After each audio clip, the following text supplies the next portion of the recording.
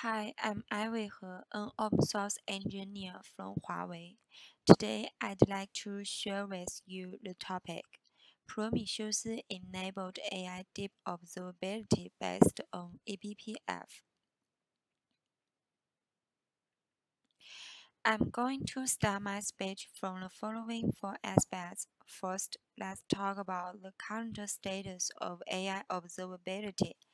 Next, let's talk about open source projects for AI observability and how these projects collaborate to achieve AI observability. Finally, I will show you a simple example. Now, let's get to the point. Currently, all deep learning have one problem. The AI training process is invisible. When running an AI task, we do know we don't know how it's led, which CPU core is running, which kernel functions are called, and how to jump. Once a bottleneck occurs, developers often use some common monitoring tools to analyze the problem. However, these monitoring tools often have blind spots. For example, they can obtain the information about long-life processes, but some short-life processes cannot be captured, which can result in information loss and a large number of these processes consume resources. In addition, these tools are inflexible and have low performance. The collected data often involves passing and copy from kernel space to user space several times. Next, let's look at the major open source projects that AI observability uses. First, we need an AI framework to run training tasks. MindSpore is such a training and inference framework for deep learning. Now, let's talk about MindSpore. MindSpore provides users with simple development experience. Uniform Python APIs for developers implementing parallel training by using serial, serial expressions simplifies the development process and provides users with flexible debugging modes. Developers can switch between static mode and dynamic debugging modes by changing only one line of code to quickly locate faults. In addition, MindSpore fully leverages the Ascend processor performance and supports and supports rapid deployment in all device, edge, cloud scenarios. To learn more about MindSpore technical details, please visit the following two websites to uh, download the MindSpore course.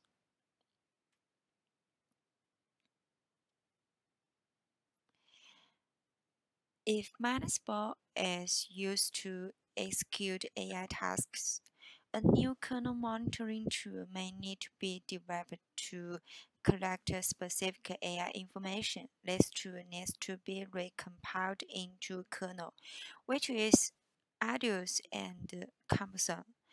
In addition, the performance is poor.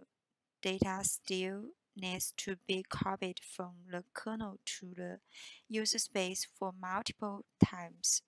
This is something we don't want to see. This requires us to use some technologies to flexibly and dynamically um, collect the kernel information we need without recompiling the kernel. The new technology is eBPF. Before we talk about eBPF, let's take a look at its predecessor, BPF. BPF is the short name of Berkeley Packet Filter. It was originally developed in 1992 to solve the problem of low efficiency of the existing packet filtering mechanism. BPF has two core features. One is filter, which can be used to filter out data packets that do not meet requirements based on the input rules. The other is copy.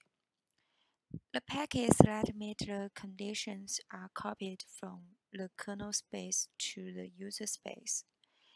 Let's look at the figure on the right to see the BPF workflow.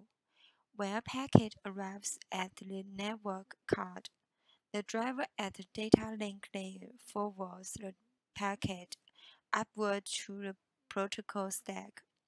If the BPF is used to listen to the network adapter, the driver first calls the BPF to send packets to the filters of different programs.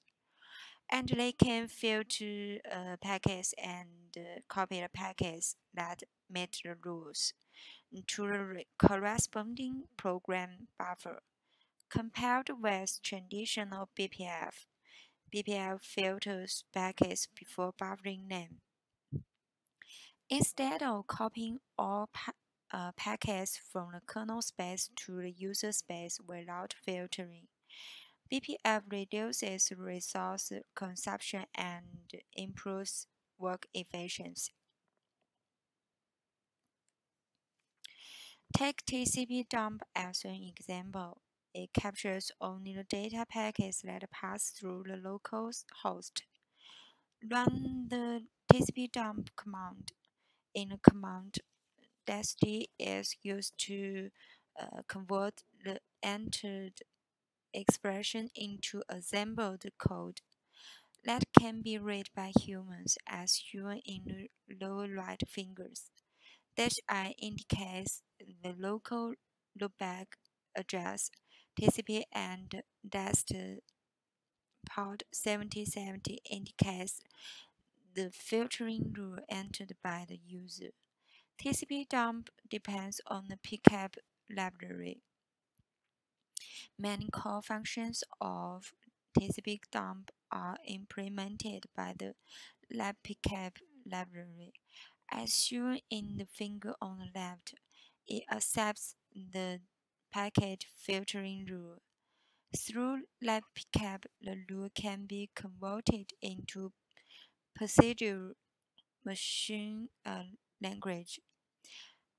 After executing procedure code, packets that meet the rule are copied to the user space through libpcap. Now, let's look at uh, the overload working process. Capture packets passing through the local loop, mm, loopback address and check whether the packets are IPv6 packets. If yes, go to step 002. If no, go to step 006. Then check whether the packets are TCP packets. If yes, go to step 006. Finally, the system checks whether the target port is 7070.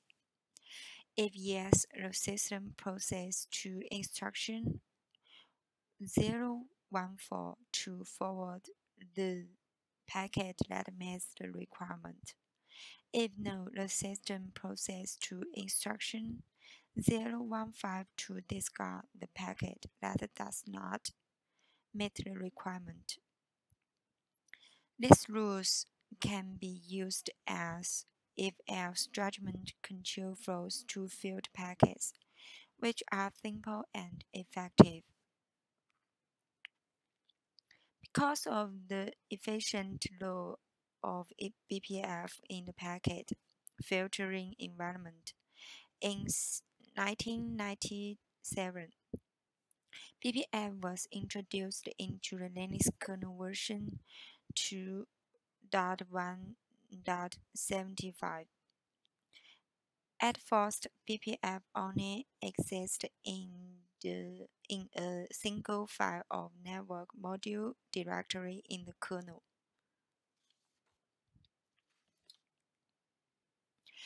After BPF was introduced into Linux, uh, there are uh, there was little activity for a long time except for minor performance adjustments. Until version uh, 3.17, the BPF uh, file is added to the kernel slash BPF directory instead of a single feature in the network module directory. This is a new uh, this is the new technology eBPF that we are going to talk about today. Compared with the traditional BPF, eBPF bring, brings uh, revolutionary changes. On the one hand, eBPF extends application scenarios from network packet filtering to kernel tracing, application performance optimization, uh, monitoring, and traffic control. In the past, this feature is used only in packet filtering scenarios and has not been expanded. Nowadays, eBPF is widely known and used as a new te kernel technology.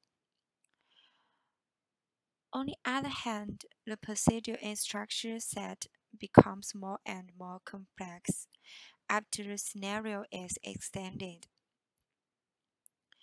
And the traditional pure assembling development mode becomes unsuitable. Therefore, in terms of interface design and use, use uh, uh, usability, eBPF has also uh, been great, uh, greatly improved by using the C language to, com uh, to write BPF code. As shown in the figure on the right, BPF was used only for network devices to filter packets. Now BPF can be applied to uh, storage scenarios and can be hooked to any part of the kernel software stack for performance optimization and monitoring. Now let's look at the eBPF architecture.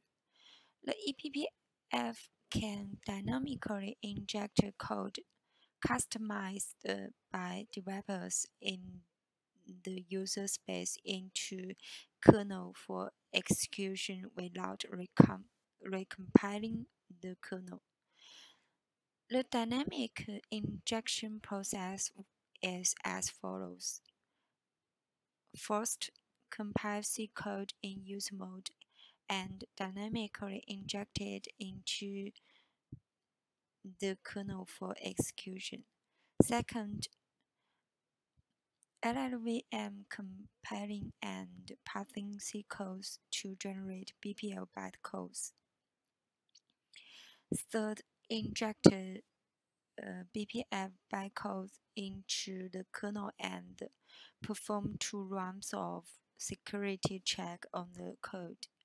Fourth, executed after JIT optimization compilation.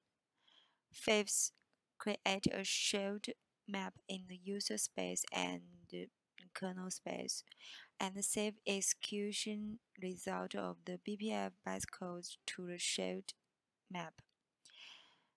This process does not require recompiling of kernel source code, which is flexible, efficient, and secure and lightweight. Although eBPF can be implemented using C, the compiled ELF file is still generated.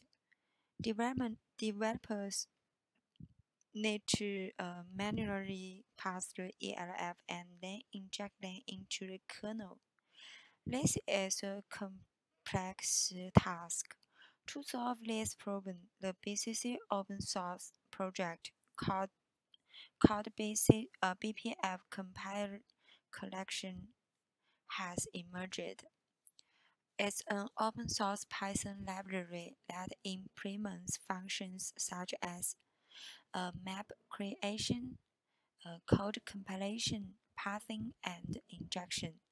Developers only need to focus on developing specific eBPF code in the C language without considering how it's compiled, parsed, and injected into the kernel, which brings great convenience to developers. For example, if we develop eBPF code and inject it into the kernel system call function, we can call the getSysCall function provided by the BCC to obtain the um, mountable system call function, and then use the attach kprobe function, attach the eBPF code to the corresponding kernel function.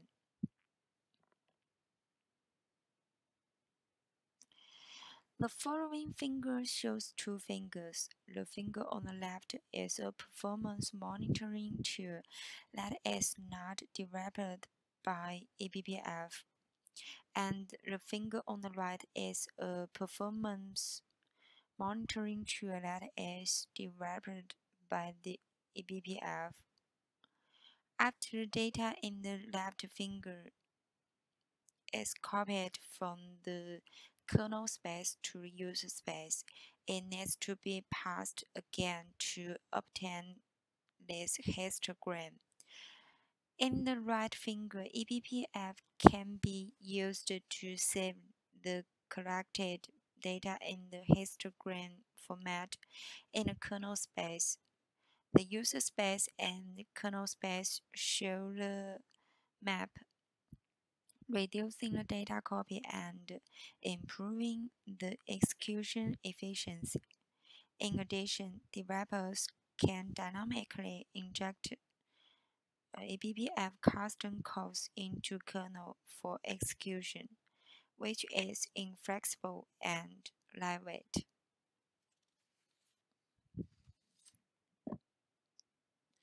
During AI tasks, we hope that the monitor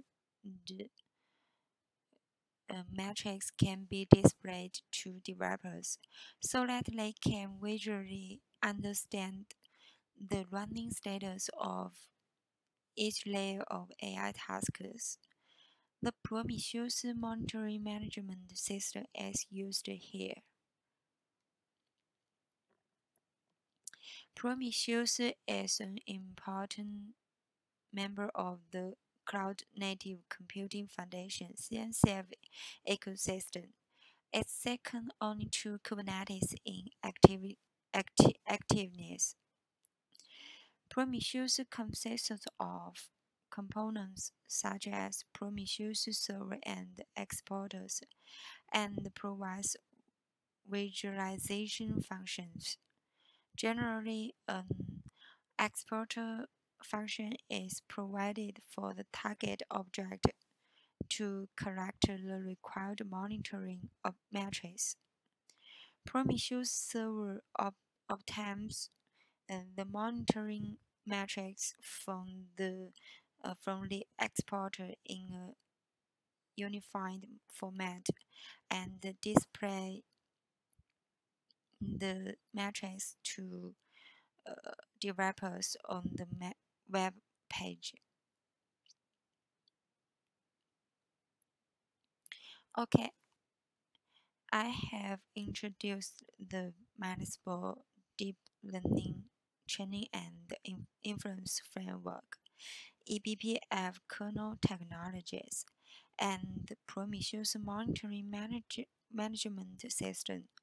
How can we um, collaborate with them to achieve AI observability.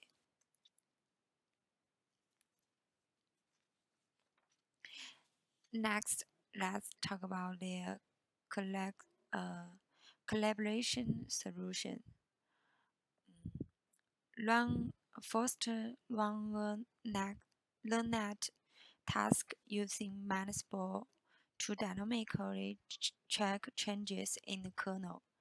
Dynamical dynamically uh, eBPF code to system call functions or kernel functions. Once these kernel functions are called, eBPF code is triggered to collect a predefined matrix. Integrate these matrices during AI inference and training and upload them to the Prometheus monitoring system to uh, implement observability of the AI kernel.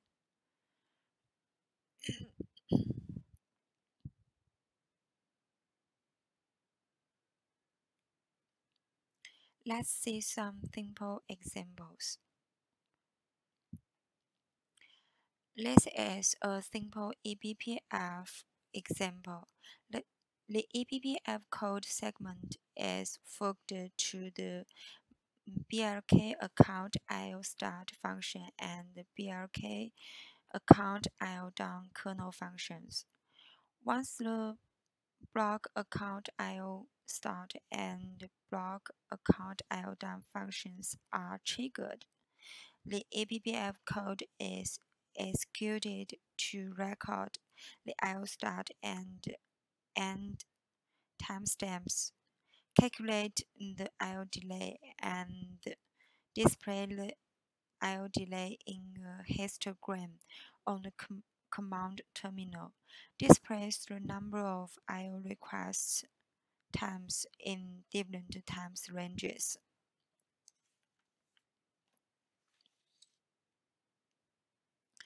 The preceding information is displayed only on the command terminal. Developers want to display it on the web pages. Inspired by the Cloudflare uh, slash eBPF export open source projects, we can develop AI eBPF export to customize AI metrics collect and display them on the web page using Prometheus.